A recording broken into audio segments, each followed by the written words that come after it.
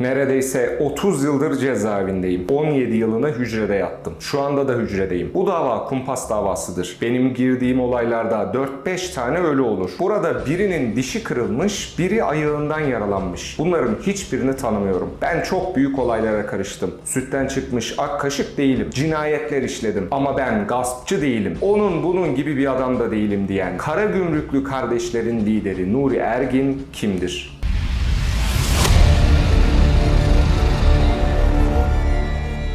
Erzurum'da yaşayan Nurettin Ergin Erzurum'dan İstanbul'a taşınır. Burada adını duyuran Nurettin Ergin aslen Kayserili olan Sevil Üşenmez ile evlenir. Nurettin Ergin'in bu evlilikten Nejat Ergin, Nuri Ergin, Zeynel Ergin, Vedat Ergin ve Soner Ergin isminde 5 çocuğu olur. 1970'lerde Nurettin Ergin Karagümrük'te kumarhane işletmeye başlar ve bu kumarhanelere dönemin büyük kabadayıları olan Dündar Kılıç, Kürt İdris, Hüseyin Heybetli gibi birçok isim de gelmektedir. Karagümrük'te birçok kahvehaneleri bulunan Nurettin Ergin'in yurt dışında da birçok kumarhane işlettiği iddia edilmektedir. Karagümrüklü kardeşlerin lideri olan Nuri Ergin ise 1964 yılında İstanbul Fatih Karagümrük'te doğmuştur. Nuri Ergin daha 12 yaşındayken dayısı tarafından yapılan bir baskın sonucu babası öldürülmüştür. 18 yaşına geldiğinde Nuri Ergin 1982 yılında Alev Ergin ile evlenir.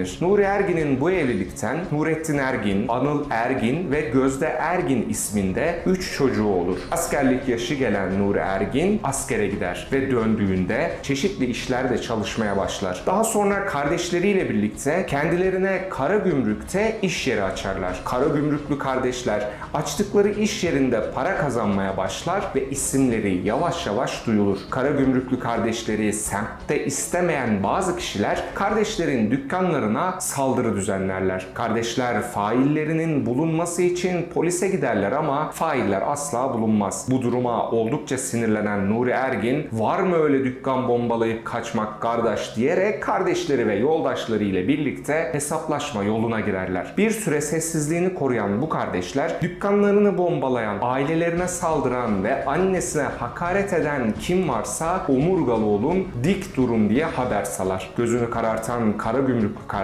yeraltı dünyasında da adından bahsettirmeye başlamıştır. 1996 yılında kardeşler bu sefer de Nalburiye dükkanında Savaş Beşerli ve Mehmet Kucur'u öldürür. Ali Dinçer Çolak ise yaralanır. 1996 yılında Karagümrüklü kardeşler kendilerine düşman kim varsa ya öldürürler ya da yaralayıp bırakırlar. Hatta kumarhaneler kralı Ömer Lütfi Topal'ın muhasebecisi Zihni Şen'i de öldürdükleri iddialar arasında yer alır.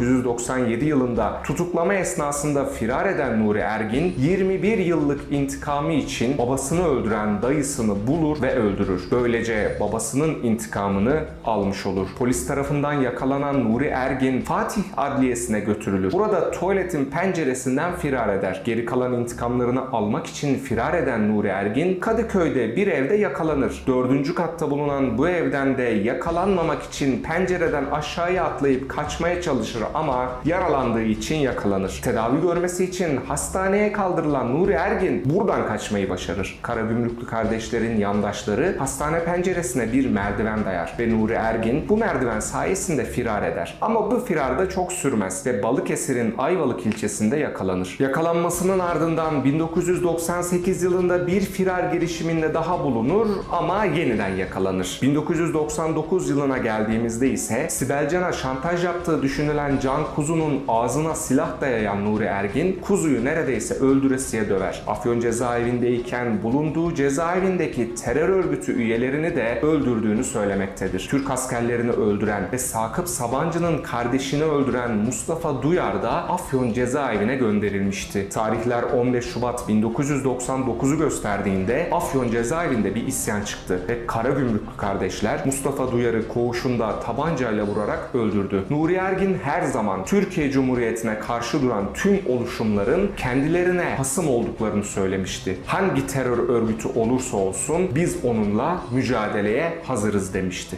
98 yılında Fransa'da tutuklanan ve kendi isteğiyle Türkiye'ye getirilen Çakıcı, Karagümrüklü kardeşlerle aynı cezaevine yerleştirildi. Kartal özel tip kapalı cezaevine getirilen Alaaddin Çakıcı ile Karagümrüklü kardeşler ilk zamanlarda çok iyi anlaşmaktaydı. Nuri Ergin Çakıcı'ya telefon bile hediye etmişti. Aralarında mektuplaşmaktaydılar. Sonra iki büyük liderin arası Erol Evcil yüzünden açıldı. Nuri Ergin Erol Evcil'den 500 bin dolar haraç almıştı. Aralarında geçen güzel yazışmalar yerini tehdit mektuplarına bırakmıştı. Çakıcı Nuri Ergin'e bu cezaevi ya ona ya bana dar gelecek dediği de ileri sürülünce Nuri Ergin basına bana dostane mektuplar yazan biri düşman ise başımızın üstünde yeri var. Önümüz bayram şeklinde bir açıklama yapmıştı. Bu olay üzerine Çakıcı da avukatı aracılığıyla kamuoyuna gönderdiği başka bir mektupta Karagümrüklü kardeşlere şöyle seslendi. Biraz adamlığınız varsa basına demeç vermeyin. Bu cezaevinde siz 6 kişi bir arada yatmaktasınız. Ben tek başıma yatıyorum. Gereğini yapmazsanız, yapmayıp da basına demeç verirseniz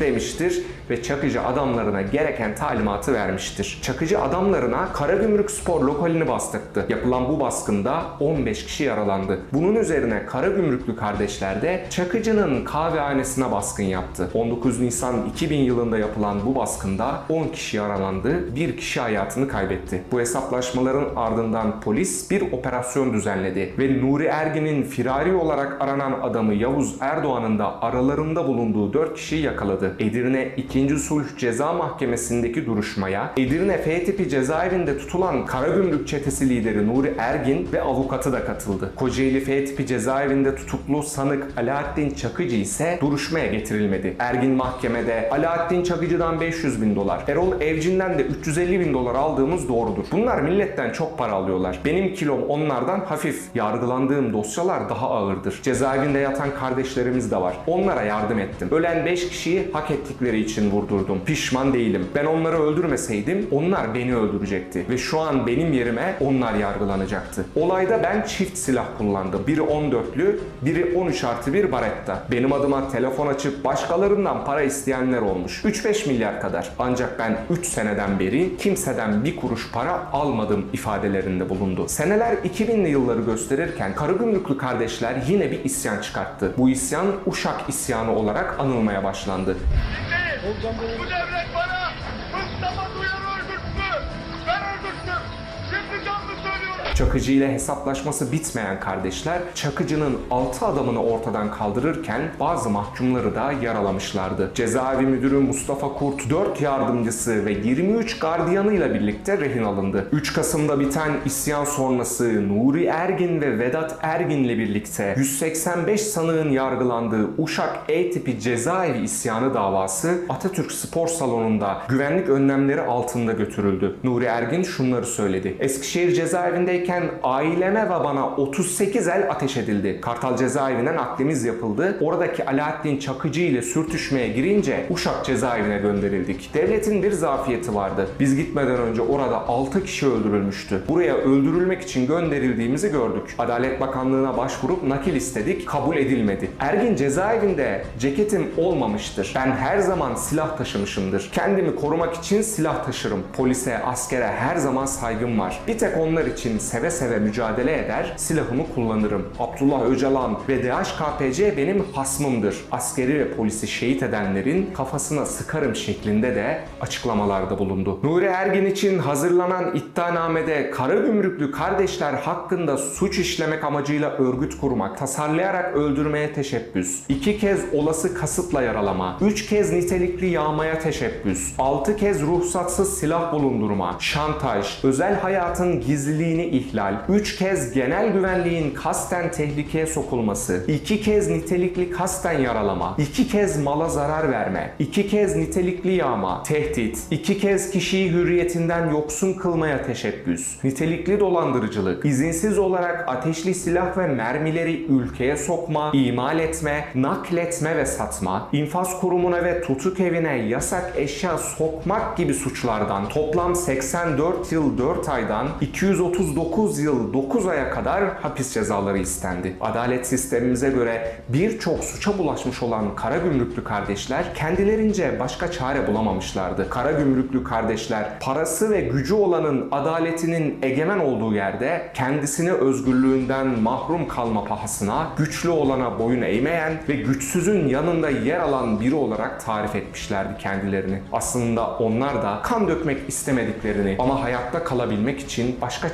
çarelerinin olmadıklarını söylemişlerdi. Videolarımızın devamının gelmesini istiyorsanız lütfen kanalımıza abone olmayı, videomuzu beğenmeyi ve yorum yapmayı unutmayın.